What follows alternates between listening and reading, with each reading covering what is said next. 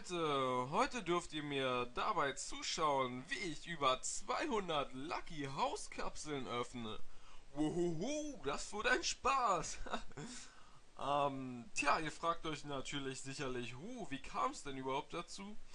Nun ja, bekanntlich ähm, gab es ja eine kleine Änderung im Lucky House vor ein paar Wochen und zwar konnte man ja in diesem roten Kapselautomat früher immer 105er Orange-Waffen finden.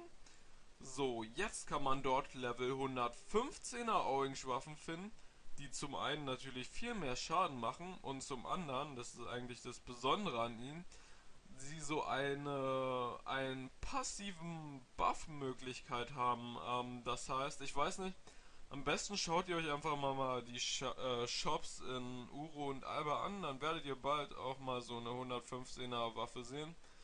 Zum Beispiel beim Einhand kann ich mich noch daran erinnern, war das so, dass sich der Schaden für 10 Sekunden oder so, also der Schaden und die Verteidigung für 10 Sekunden oder so um, ich glaube 10% oder so erhöht. Wow. Ja, ich weiß, hört sich vielleicht nicht so viel an, aber im High-End-Bereich macht das natürlich jede Menge aus. Vor allem, ja. Ähm, vor allem führt das natürlich auch dazu, dass sich der Wert dieser Waffen in einem extrem hohen Bereich befindet. So könnt ihr, je nachdem welches ihr bekommt, bis zu, ja, ich schätze mal 20 bis 30 Gem an einer so einer Orange-Waffe verdienen. Wenn es beispielsweise eine für Mage ähm, Mages mit guten Stats ist, dann ist das wirklich realistisch.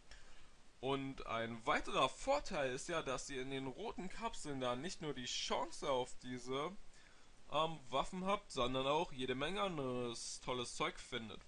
Im Prinzip ist das auch so eine Art Test, ja. Ich wollte testen, ob es sich statistisch gesehen lohnt, jeden Tag ähm, diese Coins zu kaufen falls ihr es nicht wisst, es gibt ja so eine Levelgrenze ab Level 70 oder 75, da bin ich mir jetzt gerade nicht sicher, kann man täglich 100 von diesen Coins, ne Quatsch, 100.000 von diesen Coins kaufen, ja. Vorher sind es nur 10.000 und ähm, ja, das ist halt äh, wesentlich effizienter natürlich, weil ihr einfach mal 10 mal so viel pro Tag kaufen könnt. So. Ähm, deshalb habe ich mir über ja ungefähr zwei Wochen oder so immer jetzt diese Coins geholt. Ähm, insgesamt an Gold ausgegeben habe ich dafür knapp 22 Gold. Ähm, ja, ähm, wie schon gesagt, ihr könnt da halt auch ähm, alles mögliche andere finden, von Buffrollen bis zu Steinen. Ähm, das Besondere ist, dass ihr sogar T5 Steine dort finden könnt, ja so hatte ich das Glück, dass ich einige von denen, ähm, ja, äh, dort bekommen habe. Das werdet ihr dann auch noch später sehen. Auf Teva ist das so, dass ähm, Lix T5 so äh, pro Stück 6 bis 8 Gold wert ist, je nachdem welches Segens- und Glückszeug ist ja mal so ein bisschen mehr wert. Ähm, Xir T5 ist auf Teva zwischen 65 und 70, äh, oh man, das hat sich bestimmt voll schräg angehört, oder? äh, zwischen 65 und 70 Gold wert. Überlegt, eine Kapsel, äh, Quatsch, nee, nicht eine Kapsel. Wie viele Kapseln kriegt man eigentlich für 100.000? Äh, wenn eine 5.000 kostet, 20. 20 Kapseln, ein Gold. Habe ich das richtig gerechnet? Ja, ich glaube schon so. Gut, also wie gesagt, und ein Zier T5, ein einziges, ist einfach mal äh, so an die 70 Gold wert, ja. Ähm, ja. Ist ja nur egal, ihr seht es später so oder so. Und zwar hatte ich das Glück, ein Zier T5 aus einer Kapsel zu ziehen.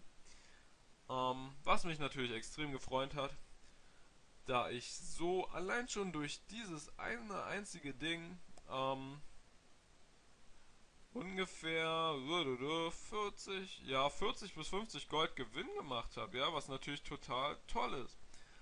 Ähm, dazu kommen halt noch die Lix T5, die ich gefunden habe.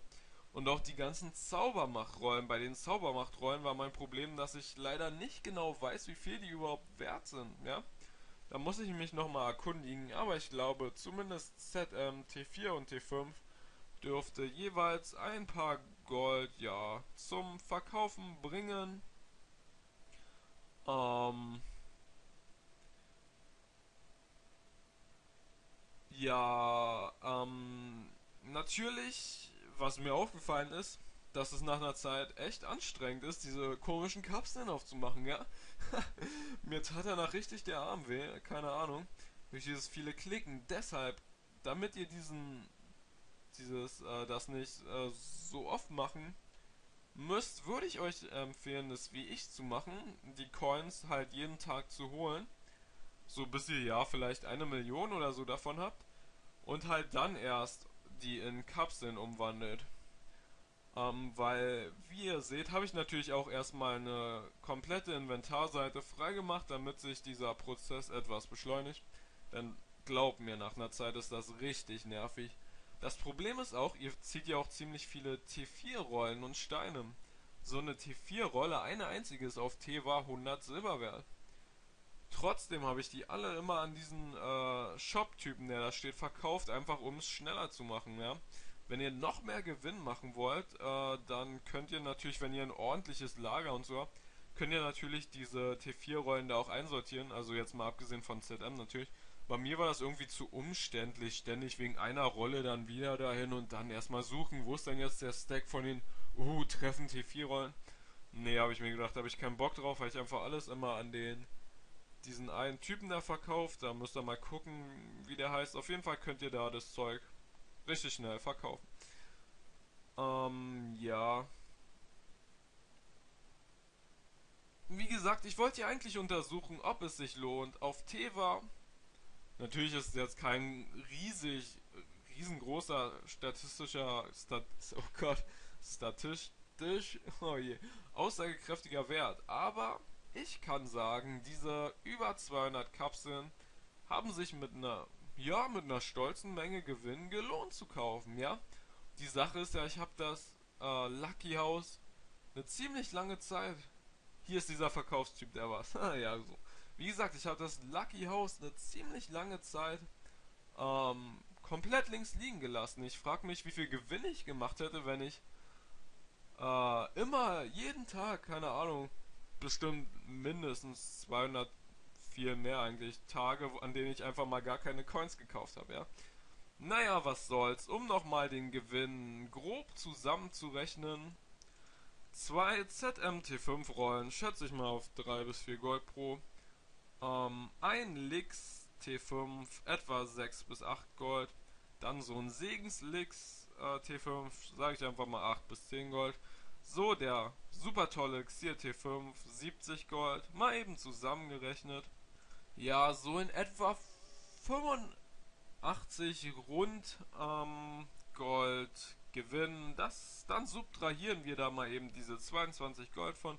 Sind wir bei einem Reingewinn von, ja, mal schauen, etwa 60 Gold, vielleicht sogar mehr. Damit bin ich wirklich äußerst zufrieden und ich werde jetzt weiterhin jeden Tag mein eines Gold, beziehungsweise also das eine Gold pro Char in Coins umwandeln. Denn eigentlich habe ich es ja und ihr wahrscheinlich auch auf diese 115er Orange-Waffen abgesehen, die dann diese Gewinnkurve nochmal so extrem erhöhen können. Außer ihr habt jetzt vielleicht irgendwie so eine komische Clery-Waffe oder so, ja? Aber wie gesagt, das Lucky House lohnt sich definitiv. Ich wünsche euch viel Glück bei euren Kapseln, auf dass ihr viele T5-Steine und Orange-Waffen habt. Yay! Gut. Ja, das war's dann auch schon wieder. Macht's gut, Leute. Haut rein. Viel Spaß beim Zocken.